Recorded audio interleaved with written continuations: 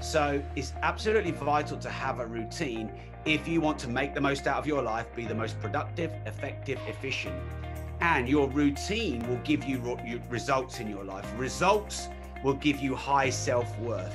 And even if going through those challenges are hard, you'll come out the other side feeling really good about yourself that you did a good day's work.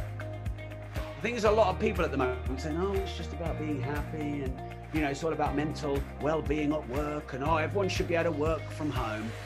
I think it's a bit fluffy, if I'm honest, Wayne, because honestly, do you feel better doing a half day's work and chilling?